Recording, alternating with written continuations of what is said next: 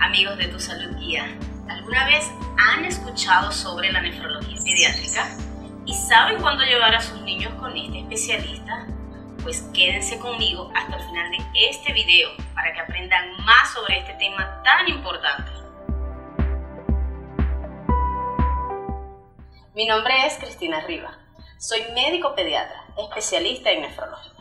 La nefrología pediátrica es una subespecialidad de la pediatría que se encarga de prevenir, de diagnosticar y de tratar de forma oportuna las enfermedades renales que pueden afectar a los niños y adolescentes. Un nefrólogo pediatra trata un sinfín de trastornos que afectan los riñones, las vías urinarias y sus efectos sobre los demás órganos del cuerpo. Todo paciente con cualquier tipo de enfermedad renal representan un gran desafío para el especialista, debido a que el diagnóstico y el manejo de estas enfermedades cuando se encuentran en etapas avanzadas van a generar un gran impacto tanto a la vida del paciente como a sus familiares e inclusive al entorno. De esto radica la importancia de poder determinar eh, cuáles son los pacientes que deben acudir a la consulta de nefrología pediátrica. Es recomendable visitar al nefrólogo pediatra cuando los niños o adolescentes tienen algunos de estos problemas o antecedentes personales. Las malformaciones congénitas de las vías urinarias, que en su gran mayoría son diagnosticadas antes del nacimiento.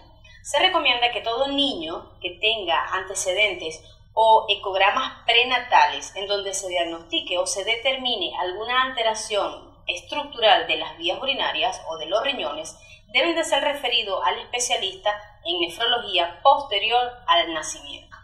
La litiasis renal, también conocida como cálculos renales o piedras en los riñones, es una razón por la cual debemos de consultar. Existen episodios en donde los niños presentan edema, también conocido como hinchazón, a nivel de la cara, a nivel del abdomen, a nivel de los miembros inferiores e inclusive en los genitales, por lo cual deben de ser valorados para descartar de que la causa de estos episodios sea o no por causa renal.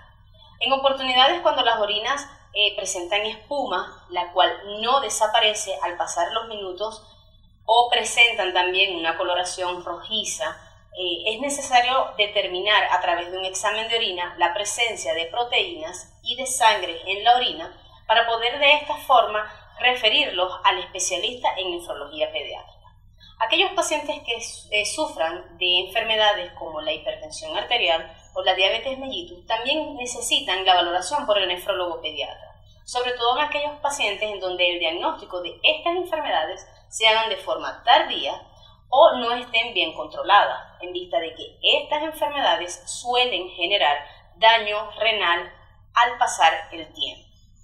Eh, muchas de las enfermedades renales hereditarias, como la poliquistosis renal, eh, deben de ser evaluadas también por el especialista todo paciente que sea prematuro, que sea bajo peso al nacer, eh, que al momento del nacimiento presenten algún tipo de hipoxia, que ameriten estar eh, ingresados en las unidades de cuidados intensivos durante tiempo prolongado o que hayan recibido antibióticos que sean nefrotóxicos durante tiempo prolongado, deben de ser derivados también a la valoración de nefrología pediátrica para poder determinar el funcionalismo renal de estos pacientes.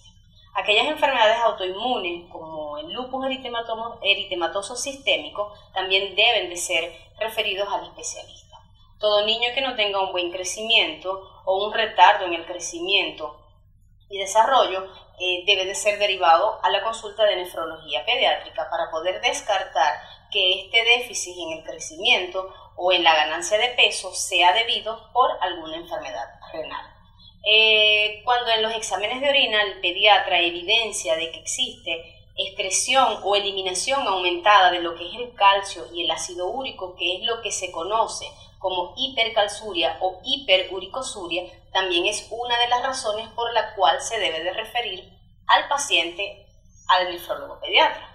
Y ya por último, pero no menos importante, todo paciente que por cualquier condición necesiten o ameriten el uso de quimioterapias o medicamentos altamente nefrotóxicos como lo que son el ibuprofeno, el diclofenat, el ketoprofeno o algunos antibióticos como la vancomicina, amicacina, que los reciban por tiempo prolongado y a dosis elevadas.